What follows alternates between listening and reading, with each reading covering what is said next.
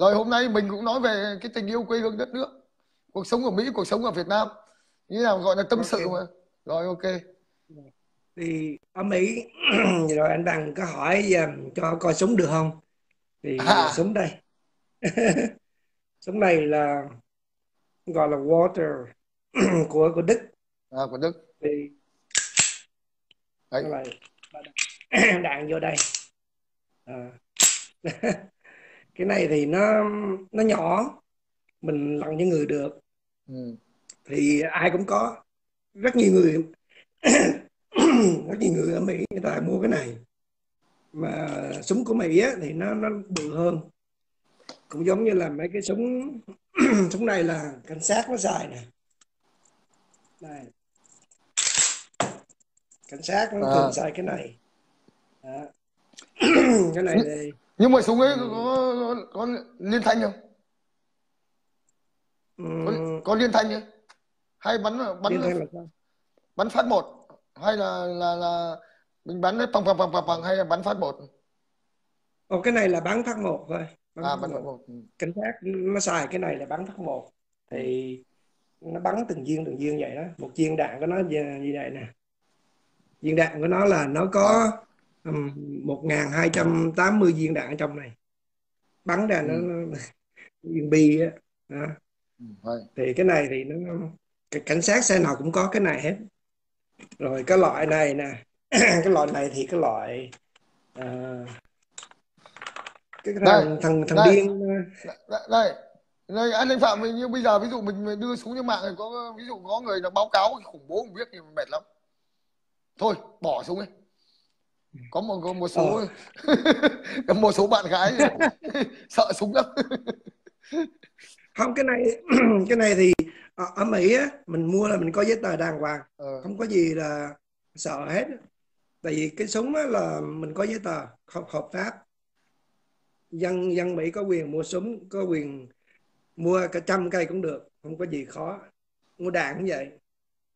Thì cái cái cái súng mà cái loại mà loại kia cái thằng thằng điên gì rồi nó ở Las Vegas đó nó xài nó bắn à, 58 người chết ừ. gần 600 người bị thương đó một cái súng nhỏ nhỏ vậy thôi Ờ, nó rất là nguy hiểm Ừ. cho nên súng ở đây thì mình xài để mình mình tự vệ hay đi săn bắn thôi chứ À. không có đi tầm bậy tầm bạ vậy là nguy hiểm không tốt nhưng, mà cái xứ tự do thì nó có hai chiều à, mặc dầu là mình mình muốn mua tự vệ nhưng mà nếu mà thường ở đây một năm nó có lần trên Los Angeles gì gì thế ta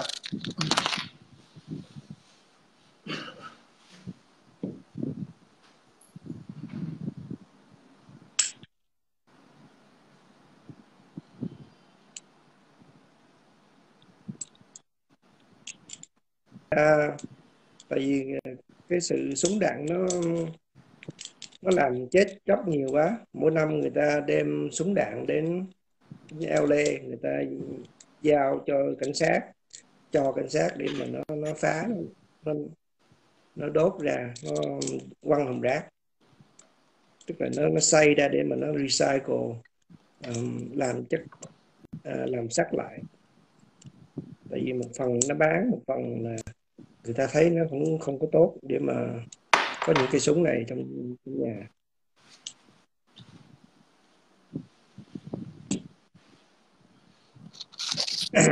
thì à, anh bằng biết là ở Mỹ này người ta có súng rất nhiều ngày à, ngày xưa em có có ông bạn ở bên Oregon ông đi chiến tranh Mỹ về á, thì ông trong nhà ông có có 50 cây súng như vậy đó. mà rất nhiều súng đạn cửa sổ nào ông cũng ờ, cũng để một cái cây súng ngay cửa sổ hết. Là lỡ ai mà vô thì ông ờ, sẵn sàng chiến đấu. Mà cũng có nhiều người người ta đi chiến tranh Việt Nam về đây á người ta bị um, tâm thần rất nhiều. Ờ, mỗi tối người ta lấy, lấy súng người ta leo lên cái đồi á người ta canh gác. Mấy chục năm rồi mà bây giờ cũng còn á. Tức là người ta không có hòa họ sống như cái cuộc đời bình thường của người dân được. Ừ. cho nên mình thấy mình thấy cũng rất là tội nghiệp người ta.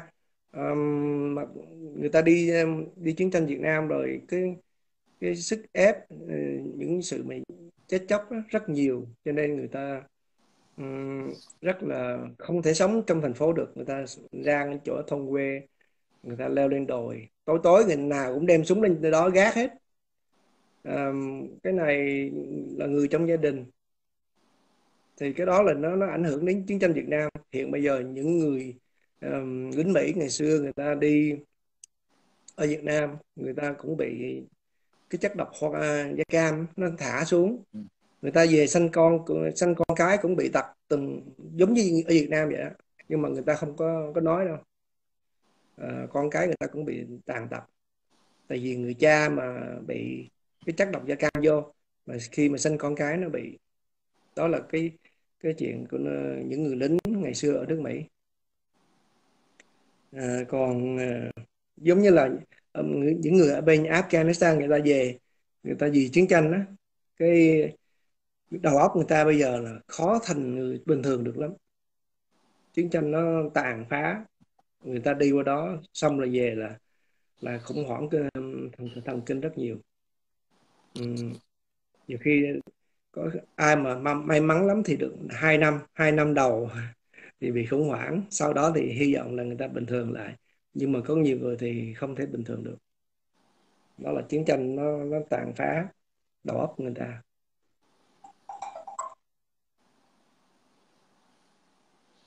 Rồi bây giờ um, um, ở Mỹ thì nó là có rất nhiều cái cái tự do. Cái, cái First Amendment là freedom of speech.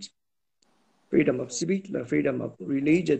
Um, cái tự do nói ngôn ngữ là tự do tin tưởng tôn giáo.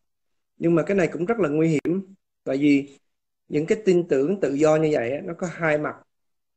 Thì mình không biết cái nào là đúng cái nào là sai. Cho nên mình phải cẩn thận mình phải phải nghe cái nào mình phải suy nghĩ trong đầu mình. Không phải cái gì cũng tốt tất cả. Uhm, cho nên hiện bây giờ ông tổng thống ông có rất nhiều kẻ thù kẻ thù chung quanh ông. Nước Mỹ có hai bên một bên dân chủ một bên cộng hòa. Một bên dân chủ nó rất là căm thù ổng muốn giết ổng luôn tìm mọi cách. Đó là kẻ thù trong nước chưa kể đến kẻ thù ngoài nước. Ở Việt Nam cũng vậy cũng phải nên nên suy nghĩ nên cẩn thận vì kẻ thù nó có hai bên ở ngoài nước và trong nước. Mà trong nước thì nguy hiểm hơn. Ở Mỹ thì kẻ thù ở trong nước thì nó tự do.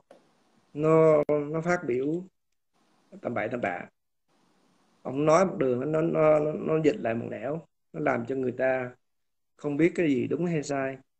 Rồi hiện bây giờ thì cái tình trạng mà đưa cái ông ông tòa này lên. Ông tòa này lên để ông tổng thống Trump muốn uh, assign ông này lên làm ông tòa thì cái bên dân chủ nó tìm cách nó phá. Hai tuần nay nó phá. Nó lên nó nói nó câu giờ ra. Bây giờ nếu mà bên cái cái tòa Supreme Court là có chín người tòa chín người tòa thì hiện bây giờ là năm người là Democrat năm người dân chủ và năm người cộng hòa. Cho nên bốn với bốn là không có thể nào mà mà mà ra ra được cái luật gì hết. Tại vì bốn người á, nó cân bằng. Cần thêm một người nữa là người thứ chín. Nếu mà năm người bầu thì năm người sẽ thắng, năm người hơn người bốn người. Thì bây giờ tụi dân chủ nó tìm một cách, nó kéo dài thời gian lên. Cho nên cái Supreme Court chỉ có bốn bốn người với bốn người. Khi mà bốn người với bốn người á, thì nó cân bằng với nhau. Luật gì ông ông ờ, nó ra thì ông bên này nó cũng cân bằng không có ra luật được. Đó. Ví dụ như ông muốn ra luật uh, giảm thuế nè muốn ra luật uh, uh, cắt tiền qua phe này cũng không được tại vì nó nó cứ cân bằng với nhau không có ai thắng không ai thua hết. Tức là nó muốn phá ổng cái tự do ngôn ngữ này nó cũng làm uh, chính trị của Mỹ nó rất là kinh khủng tồi bại lắm. Nó là không tốt. Nó đưa ra cả thế giới coi những cái chuyện như vậy nè, nó làm cho nước Mỹ chia chia làm hai, một bên dân chủ, một bên cộng hòa. Thì nhiều khi dân dân chủ trong gia đình á à, mà ai mà à, có con cái rồi con cái nó theo một bên, rồi mình theo một bên là gặp nhau cũng khó nói chuyện lắm. Tại vì đụng vô chính trị chính trị là người ta là cãi nhau, nhiều khi không có còn anh em cha mẹ luôn á tức là người ta không có um, chứ còn là gia đình nữa. Nếu mà gặp nhau thì um, trong gia đình thì không nên nói chuyện gì chính trị. À, tại vì nói cái đó là người ta rất là tức giận. Nếu mà người ta cả trong gia đình à, mà theo một bên thì không sao mà theo, trong gia đình mà hai bên thì rất là khó chịu. Ừ ở Việt Nam thì không biết sao nhưng mà ở đây thì không. có chuyện đó. Ở ở bên mình cũng có một, một người bạn cũng là một kiều bào ở bên Mỹ. Hai ra tức là hai vợ chồng. Coi như là chồng thì là là, là yêu đất nước Việt Việt Nam. Còn tức là yêu cái chế độ là do Đảng Cộng sản Việt Nam lãnh đạo sống bên Mỹ ấy. vợ thì là mình cứ gọi là ba que. Sống cùng hai vợ chồng coi như là mệt lắm giống như là mình ngủ chung với kẻ thù vậy đó. Đúng vậy ngủ chung kẻ thù. Mà không bỏ được. Không bỏ được. Nói chuyện không được. Khổ lắm. Mấy đó là à. cho nên cái chính trị ờ, đừng có nên bỏ cho trong gia, gia đình. Uh, xong cuối cùng uh, vâng. Rồi cuối cùng uh, nhiều khi kiểu nằm trên giường hai vợ chồng tranh luận nhau mà ông chồng điên quá tát cho vợ phát. Cuối cùng cảnh sát bắt đấy. Cuối cùng trong túi còn có mỗi ba đồng ở bên mỹ police bắt mỗi ba đồng coi như là anh em quen biết thì cuối cùng người ta biết người ta mới gọi tiếp tế. Rồi ở, ở bên Mỹ không có nên uh, bạo hành với với là người con gái đàn bà. Rồi nhiều khi cái luật đó nó làm cho người đàn bà nó nó thành quá trớn. Vâng. ừ, cũng giống như là những người đàn bà người ta vu khoáng à, người đàn ông là hiếp dâm người ta rồi người người đàn ông bị tù tội biết bao nhiêu năm xong rồi cái cái người đàn bà đó đứng ra rồi nói với bạn bè là cái chuyện đó là chuyện không à, tôi kể khoáng cho vui. vừa, vừa tôi kể cho các bạn là câu chuyện thật chứ bạn Việt kiều bạn đang ở Việt Nam bạn ấy chỉ sinh năm tám tư tám tám năm tám sáu bạn ấy sinh ra về gia đình coi như cũng cộng sản. Mà bộ bố bố của bạn ấy ngày xưa thì cũng ở trong ngành hải tôi cũng biết luôn. Bạn đang Việt Nam chứ tôi, tôi kể câu chuyện thật chứ không phải là mình tôi phịa một cái câu chuyện nào cả. Nhưng tất nhiên tôi không nói tên thôi. Rồi xin, xin mời anh thì ở Mỹ này cũng có vậy cũng có nhiều cái trường hợp là người ta lên đi ở tù xong rồi cái cái người um, người à, vợ hay là người bạn gái gì đó người ta vu khoáng à, vu khống. Rồi cái người ta tiết lộ ra những bạn bè người ta là nói um, người ta vu khống. Thì sau đó thì người ta có bằng chứng rồi người ta đem ra thì người đàn ông được thả tự do mà khi đó nó trễ rồi mấy năm ở trong tù rồi mất tất cả cái gì hết rồi phải không? Cái đó cũng cái cái sự đó là nhiều khi người đàn bà ở đây người ta dùng cái luật đó người ta hại người đàn ông rất nhiều. Cái đó không cũng không có tốt đâu. À, nó ra à, để nó bảo à, quy này hình như là anh thấy là hình như là trong cái luật pháp của Mỹ mà hình như cho phép hối lộ còn Việt Nam thì, thì không hình như luật pháp của Mỹ cho phép hối lộ mẹ đúng là nói cái, cái, cái câu ai hiểu. Ừ. rồi xin mời anh anh thì, thì hối lộ thì ở đâu cũng phải có. Ừ, không có đã là người thì người ta hối lộ bằng mọi cách. Đó. Ở Mỹ này thì người ta hối lộ bằng cách ừ, gọi là lobby. Người ta bỏ tiền vô trong cái quốc hội. Rồi những người làm trong quốc hội người ta về hưu rồi á thì thì người ta hối lộ mua chuộc những người này những người này có bạn bè trong làm trong quốc hội. Thì người ta bỏ tiền vô rồi người ta tìm mọi cách để mà khuyến khích những người mà trong quốc hội à, người ta bầu cho mình. Đó. Mà chuyện này có thật ông Trump ông đã nói rồi Trung Quốc đã, nó đã lobby nước Mỹ rất là nhiều. Cho nên những cái luật lệ ở nước Mỹ người ta làm ra là nó có uh, quyền lợi của Trung Quốc rất nhiều tại vì Trung Quốc nó đã mua những cái lobby nó bỏ tiền ra nó có trăm triệu nó mua. Thì chuyện đó ông nước Mỹ không biết nè không có gì giấu hết. Thì ở đâu cũng vậy cũng có cái cái lợi nhuận của người ta thì người ta bỏ tiền ra người ta mua tất cả. Đó là cũng hối lộ hối lộ trên thế giới này chỗ nào cũng có hối lộ tất cả. Vấn đề nhiều ít thôi? Yeah. Nhưng mà nó ở Mỹ thì nó cái, cái chuyện mà hối lộ nó rất là tinh vi khó tìm được lắm. Không không giống như là mấy nước khác mấy nước khác thì người ta đưa tiền người ta giấu giếm. Nhưng mà ở nước Mỹ nó có nhiều cái chi nhánh nó làm ra là mình rất là khó khó khó mà đi tìm được. Ừ, cái gì nó cũng mua được tất cả. Súng đạn nó cũng mua được rồi vũ khí trên thế giới nó cũng mua được thì nhiều cái lắm. Nên nhiều cái nó nó cũng cái luật lệ ở Mỹ thì mình phải biết. Nó nó có lợi và có hại. À. Không phải cái gì. Anh anh cho mình hỏi ấy bây giờ ở bên, ở bên nước Mỹ ví dụ như ở bên Cali ấy mấy ông già khệnh khạng thỉnh thoảng người ta tổ chức ngày lễ mà người ta mang súng to súng nhỏ các loại súng ra thì đấy là súng thật hay là súng nhựa? Ừm, nếu là đường mà xin phép á thì đúng là thành trên thành phố là không có ai mang súng như vậy đem đem ra thành phố được. Ừ. muốn có súng súng như vậy là phải có giấy phép. Giấy phép mà phải um, có người uh, cảnh sát mới được mang súng. Còn người thường á không có làm trong quân đội hay là cảnh sát thì không được mang súng ra ngoài đường. Mà nếu mà đi trình diễn như vậy á thì chắc là mang súng gỗ. À súng súng, súng nhựa đâu ca mà cho phép mình mang súng đi như vậy được. Ừ. không? Súng nhựa súng gì đó. Chứ nếu mà súng thật thì thì phải có giấy giấy phép đàng giấy phép đàng hoàng chứ không có mang như vậy được. Thì giấy phép ở đây nó rất là khó. À, nếu mà em muốn mang súng ra đường á à, mà cũng tùy theo chỗ thôi. Như cái trên cái thành phố này em ở thì nó mình có xin phép mình mang súng mình giấu trong người được cái đó được. Nhưng mà dưới kia thành phố lớn thì nó không có cho mình mang súng đi đi đi hành đi giữa đường đâu không cho đâu. Ừ. thì nó, nó luật... bây giờ này có một khó. cái câu hỏi nữa mình muốn hỏi an anh. Có cái con ờ, gì thủy tiên nguyễn này con này là chắc là ba que rồi.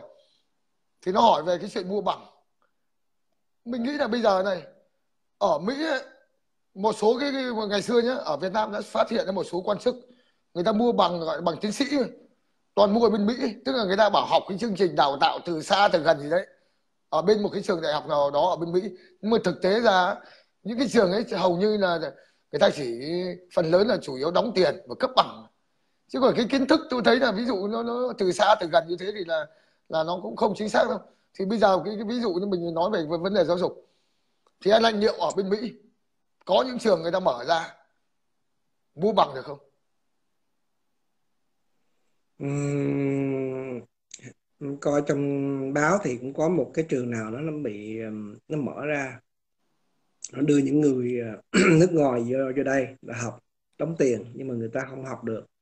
Thì nó cũng làm uh, ra trường rồi nó cấp bằng. Nhưng mà những trường đó thì người người ta đã đã ờ, đóng cửa rồi. À, những cái trường đó là bất luật người ta bị phạt đóng cửa. Ừ, cũng có những cái cái trường hợp nó rất ít nhưng mà mình phải không có chú ý nhiều cái đó nhưng mình cái đó cũng có. Thì cái cái mua bằng đó, thì ờ, rất là ít. Đối với nước Mỹ thì cái đó là rất là uh, ít có lắm. Nhưng mà nếu có mình cũng khó biết được. Tại vì nó ở Mỹ này người đâu có ai mà đi mua bằng ít có ai mua bằng. Chỉ thực tế là thì bây giờ này mình nói với an ninh phạm và tất cả các bạn ở đây này mình nói gì mình phải nói thật ở đất nước Việt Nam hiện nay. Hiện nay tất cả rất nhiều trường đại học người ta mở ra đào tạo các kiểu chất lượng khác nhau. Nhưng cái vấn đề nó không phải là cái bằng cấp nữa mà vấn đề là ví dụ mình đi xin việc ở đâu tất cả đều có phỏng vấn hết kinh tế thị trường mà. Ví dụ ừ, ông có bằng đại học hoặc là có bằng nọ bằng kia như khi ông phỏng vấn mà không đạt kết quả của người cả công ty phỏng vấn đều bị loại ra khỏi hết. Công chức ở Việt Nam hiện nay cũng phải phải thi công chức. Chưa? cho nên là ví dụ giả sử nhé các bạn có mua bằng thì bằng. Các bạn không học các bạn các bạn mua bằng. Nhưng mà khi khi các bạn phỏng vấn hầu như bây giờ các bạn mang bằng kỹ sư bằng nọ bằng kia các bạn đều phải qua phỏng vấn mà các bạn không đạt được các bạn ừ. cũng là đi bốc vác thôi. Các bạn làm việc trên tay thôi. Cho nên bây giờ hiện nay cái thời buổi kinh tế thị trường này là các bạn phải học thực chất. Cái bằng là một vấn đề nhưng mà thực chất là một vấn đề. Còn tôi nói với các bạn ở cái thời điểm năm 1980 thi đại học như tôi thách ông nào mua được bằng nhá. Tôi nói tôi chỉ nói vậy thôi. Còn những thời điểm sau này bây giờ thì thì là tôi không nói cái chuyện mua bằng không tôi cũng biết. Nhưng vấn đề là tất cả đều phải khi xin việc đều phải tuyển hết thông qua thi tuyển hết. Anh có cái bằng mà anh không không tuyển dụng được thì thôi hoặc các nọ các kia thì anh về anh bốc đất. Rồi xin mời. Thì Mỹ này cũng giống như vậy. Mình ra trường xong rồi mình có bằng nhưng mà mình đi xin việc thì mình phải phỏng vấn. Đúng. ví dụ như công ty đó nó muốn mướn mình vô thì đôi khi mình mình đi phỏng vấn à, lần đầu tiên thì thì có ba năm người phỏng vấn mình. Xong mình nếu mình tha mình mình đậu được thì qua cái phỏng vấn lần thứ hai đó cái đúng người à, mà trực tiếp người ta muốn phỏng vấn mình. Rồi à, rồi cái trong cái phỏng vấn nếu mình mình đạt được á thì người ta mới bắt bắt đầu người ta ừm, check background của mình tức là mình coi thử lý lịch của mình có tốt hay xấu nếu mà nó coi trong lý lịch của mình á thì nó xấu thì nó không có bao giờ nó mướn mình. Mình ở tù ở tội có tù hay là có tội gì đó thì trong quá khứ không cần biết nó không có mướn đâu. Dạ. hay là mình bắt nợ tiền của ai đó nó cũng không có mướn nữa. Đó mà qua tất cả cái đó xong rồi á nếu khi mà nó mướn mình vô thì nó cho mình làm probation trong 6 tháng 6, 6 tháng đầu mà nếu nó biết được cái gì um, nó không có có đồng ý vừa ý đó thì nó bất có quyền nó đuổi mình trong 6 tháng đó. Bất cứ cái chuyện gì cũng vậy. À, nếu mà làm trong chính phủ Mỹ à, làm trong quân đội của Mỹ cũng rất là khó. Nó nó nó phỏng vấn mình một năm luôn 12 tháng. Nó nó coi lý lịch của mình 12 tháng sau nó mới nhận mình vô chứ đâu phải dễ khi mình vô làm trong à, quân đội của Mỹ hay là trong cái nước à, chính trị của Mỹ thì nó nó chọn lọc rất là kỹ càng. Rồi nó coi lý lịch của mình từ khi à, 10 tuổi học học, học từ khi học lớp mẫu giáo học trường nào là bạn bè mình là ai rồi mình sống nơi nào nó coi rất kỹ. Không phải là nó nó bỏ qua những cái gì á nhỏ xíu nó cũng biết Vâng. là lý tất cả nó biết hết rồi bây giờ này trong anh anh có một bạn bạn bạn quân bạn đề nghị anh anh kể về y tế Mỹ cũng hay đấy đề tài hay đấy. về y tế y Mỹ tế Mỹ ừ. y tế Mỹ thì ờ, đối với em thì người ờ, đi làm thì mình phải trả tiền ờ, bảo hiểm bảo hiểm y tế vì bảo hiểm hiện bây giờ mình trả trong gia đình bốn người à, một năm mình trả gần 10.000 đô. Đó là y tế. Bảo hiểm thôi. Bảo hiểm. Đóng rất rồi bảo nhiều. hiểm rồi. Đóng 10.000 đô một năm. Bốn người rồi thì chia, trung bình ra mỗi ngày người hai ngàn rưỡi đúng không? Hai ngàn rưỡi hai ngàn rưỡi thì chia cho 12 tháng. Thì là mỗi tháng cỡ khoảng 200 đô một người. Ừ. hai đúng rồi. 12 khoảng khoảng Ừ. một tháng khoảng gần hai 200 đô sắp xỉ đó là mình chưa không có bệnh hoạn gì không có bệnh gì hết đúng rồi. tất cả không có đi bác sĩ luôn. đúng rồi đó đúng rồi bảo mình hiểm. Rồi nếu mình đi bác đi bác sĩ á, thì à, bác mình phải trả tiền tiền túi ra. Mình trả mỗi người như vậy đến cái cái là deductible là hai hai ngàn hai ngàn một năm mỗi người. Tức là cái cái cái tiền hai ngàn trước á mình mình đi bác sĩ nó nó check cái gì đó nó tốn một ngàn đi. Một ngàn nó, nó thử máu thử đồ nó cho thuốc mình. Mình tốn một ngàn thì mình bỏ tiền túi ra một ngàn. Nếu hai ngàn thì bỏ mình tiền túi ra hai ngàn. Mà nếu mà trên hai ngàn đó thì cái bảo hiểm nó sẽ nó sẽ giúp mình trả tiền. À, ví dụ như là hai ngàn rưỡi thì hai ngàn đầu tiên đó, mình phải trả tiền trong túi mình ra. Còn 500 á, thì nó, nó, nó bắt mình phải trả à, khoảng 20 phần trăm thôi. Còn 80 phần trăm là nó chịu. Cái hãng bảo hiểm nó chịu. Những cái chuyện giống như chuyện lớn xảy ra tốn cả trăm ngàn thì cái đó này nó nó được. Bảo hiểm là chỉ à, mình ví dụ như mình đi xe mình bị tông xe gì đó rồi bị gãy chân gãy tay rồi bị mổ. Cái nhiều khi cái này nó tốn cả trăm ngàn. Nếu mà tốn một trăm ngàn đi mà thì mình trước- đầu tiên là mình bỏ ra hai ngàn trong túi mình ra trước. Rồi còn 98 ngàn thì uh, mình phải chịu đâu 10 đến 20 phần trăm. Còn bao nhiêu thì thì uh, bảo hiểm nó trả. Đó là y tế ở Mỹ. Nhưng mà y tế ở Mỹ thì nó cũng rất là không có không có tốt nhiều. Tại vì những cái bệnh nhỏ nhỏ như vậy á, nó cũng tính mình rất là nhiều tiền mà chủ yếu là ở Mỹ này nó nó nuôi bệnh chứ nó không có thật sự là chữa bệnh đâu.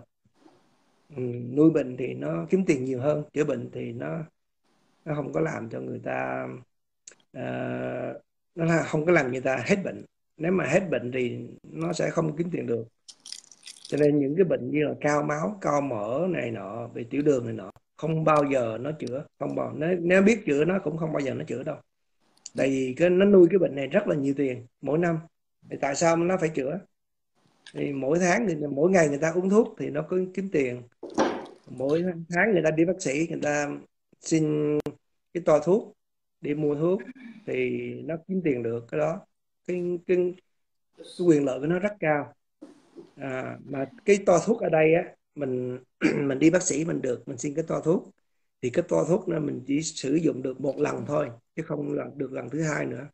Đó khi mình đem cái thuốc đến cái đến cái pharmacy mình mua thuốc thì mình đưa cho nó nó sẽ không trả lại nó sẽ đưa cho mình cái thuốc hay là nó bán cho mình thuốc xong rồi thì lần sau mình muốn nữa thì mình phải đi bác sĩ nữa Đúng. ở Việt Nam thì nghe nói là mình có một cái toa thuốc mình đi bác sĩ mình đi mua thuốc hoài cũng được không có ai bắt bắt mình phải đi bác sĩ hoài vậy à, thì cái ở đây thì cái những cái um, bệnh y tế giống như là cái um, ung thư thì ở Mỹ mình biết là thật sự là nó không có muốn chữa ung thư đâu. Nhưng mà nó nói là nó không biết chữa. Nhưng mà à, mình cứ đi suy nghĩ đi cả một trăm năm rồi tất cả những gì à, trên nước Mỹ người ta đều vượt lên tất cả internet người ta quá xa rồi những cái phone rồi những cái gì um, technology ở đây là nó lên rất cao mà chỉ có cái bệnh ung thư là không không bước được đi bước nào hết. Tại vì cái cái ung thư là cái nguồn cái nguồn mà um, kiếm tiền lớn lớn lắm của nước Mỹ. Mỗi năm từ 200 đến 300 tỷ một năm. Thì tại sao nó phải tìm cách nó chữa bệnh ung thư? Mặc dầu nó nó bỏ ra rất nhiều tiền nhưng mà nó mục đích của nó khác. Mục đích của nó là kiếm tiền. À. bây giờ này có một, một số cái dịch vụ mình mình cảm thấy này. Ví dụ ví dụ như cái bệnh về răng chẳng hạn. Về cái kiểu thay, về thay răng thay tất cả thứ ấy.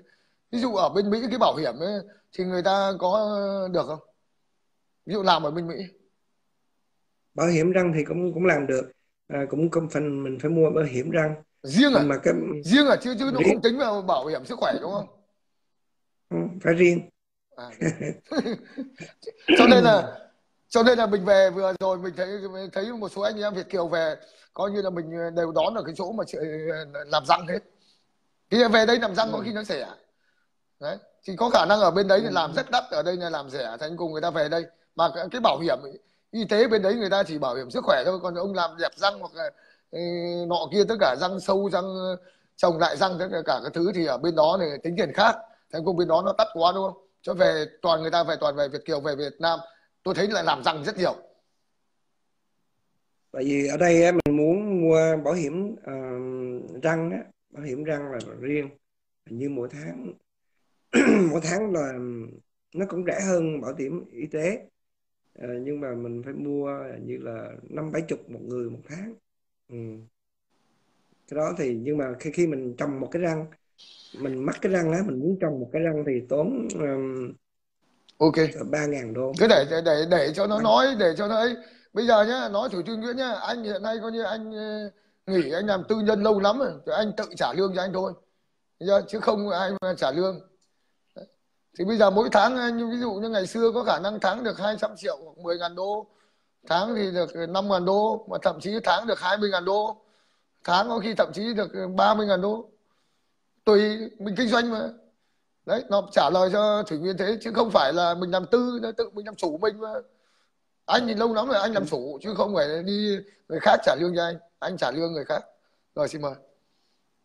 Nhưng mà anh làm như vậy thì anh cũng đóng thế ở Việt Nam rất ít. Đối với nước Mỹ thì anh đóng đúng thế rồi là đúng rồi. Nếu mà chủ um, anh mà làm tự làm cho mình á thì anh có thể đóng thế đến gần 49% luôn. Nếu mà cao cái tên cao thì anh phải đóng thế rất cao.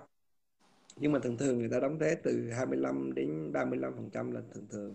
Còn nếu mà thu vô mà cao á, thì đóng thế cao đến 49 phần trăm. Thì đóng thế đó xong rồi mình khi mình lấy tiền về á rồi mình mua bất cứ mình xài cái gì á mình cũng đóng thế nữa cho nên cái thế ở Mỹ này nó trồng chất. Có hai cái à, ở Mỹ này có hai là cái hai cái chắc chắn nhất là chết là chắc chắn. Rồi thế nói chắn. nói nói phong phạm này xin lỗi tất cả mọi người nhé hiện nay về Việt Nam làm răng người ta không phải là làm răng ở bệnh viện đâu. Có những cái phòng nha người ta làm răng rất là đẹp. Giới thiệu cho bạn một địa chỉ ở đường Mùng 32 nhá chỗ mà chỗ làm răng number one đấy. Rất nhiều Việt kiều về đấy làm. Đấy. người ta có ừ. uy tín. Cái Việt kiều người người ta làm người nọ truyền tai người kia. Ở thành phố Hồ Chí Minh hầu như Việt kiều về làm răng ở đây nhiều. Đúng rồi em cũng ông cũng về Việt Nam làm răng. À, đó. tại vì em làm cái Mỹ này nè. Đúng ở rồi. Mỹ làm răng làm cái răng giả mà nó nó tốn đầu à, một ngàn à, một ngàn mà xài không được mình ăn vô cái nó nó, nó nhai nó hư hết. Cái phải về Việt Nam rồi bỏ ra 200 200 đô thôi làm được. Ừ. làm cái này nè. Vâng ấy đấy. Ở Việt Nam đó ở Mỹ làm là quăng thùng rác làm xài không được mà làm ở Việt Nam thì nó, nó làm được nó làm được không đấy anh cả anh, anh, anh, anh cầm anh bảo anh về Việt Nam làm răng. Không thì như như là tôi biết là coi như là làm răng được người ấy. À lương dư luận viên thì tháng 30 củ đó là 30 củ. Mẹ đúng cái con ngu. Ừ. 30 củ là bao nhiêu? 30 củ là 30 triệu. 30 triệu thì khoảng ngàn ngàn ngàn ba ngàn tư đô. Đấy là lương dự viên lại cao. Có khi kiểu này mấy cái người mà mà mà chống cộng cực đoan ấy có khi là trở cờ hết đấy không trả tiền lương dữ liệu viên ở bên Mỹ luôn. Bên Mỹ lương cao hơn. Có khi lần này mấy ông chống cộng cực đoan là trở cờ hết. Mấy người chống cộng ở đây, đối, nghĩ chắc người ta cũng già, cũng gần chết hết trơn rồi. Ừ, đối với những người à, tại vì người ta trong trong cái, người ta rất là buồn. Ở trong trong nhà thì rất là buồn, mà người ta không biết cái sự thật ra sao người ta ngồi trong nhà đóng cửa như vậy á thì cái đầu óc luôn luôn nó muốn hoạt động. Mà những cái hoạt động tốt thì người ta không có mà họ người ta nghe cái cái tật xấu thì người ta người ta lay cái tật xấu ra người ta đầu óc người ta cứ lung tung băng lung tung mà như vậy. mà cái thằng ờ, mang tên Việt Nam kia mày bảo tao ba củ bây giờ mày mày ấy trả cờ đi tao trả mày năm củ luôn chờ ấy, tao trả mày năm củ mày khỏi đi làm mày cứ nằm suốt ngày à, ăn. Liên hệ tao tao trả. Những người như vậy mà người ta um, hiện bây giờ thật ra thì những người lớn tuổi ở đây người ta đầu óc người ta rất là miên man người ta nghe những cái chuyện xấu quen rồi người ta rồi. đầu óc người ta càng ngày càng càng bị hư tồi tệ luôn mình có thể là mình không nói chuyện với người ta được nữa. Người ta suy nghĩ một cách um, mù quáng lắm. Cho nên nhiều khi trong gia đình như vậy cũng rất là khó nói chuyện nếu mà người ta cứ um, suy nghĩ một cách um, muốn phá hoại như vậy. Không có không có tính chất ờ, không có không phải là người xây dựng nữa. Người ta muốn phá hoại thì đầu óc người ta toàn là nghĩ tầm bậy tầm bạ không? Nói bậy nói bạ không? rất khó nói chuyện như người ta. Người ta không có, có ra đường người ta không có đấu à, không, không có làm ăn với những người bình thường. Cho nên người ta nhốt trong trong trong nhà trong một cái tù như vậy đó. Ừ. rồi à, những cái chuyện đó là dần dần người ta sẽ chết thôi chứ không có gì thay đổi người ta. Khó rất khó người ta mình lôi người ta ra được. Tại vì sự thật người ta không không muốn biết nữa. Ừ kỳ như vậy.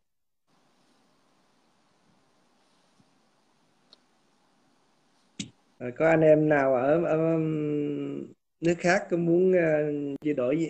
Đúng rồi. Có muốn có hỏi gì? có có vừa nãy vừa nãy có cái bạn uh, Tanya này ở Nga này. Thôi rồi. C- c- cảm ơn sự đóng góp của anh Anh Phạm. Anh em mình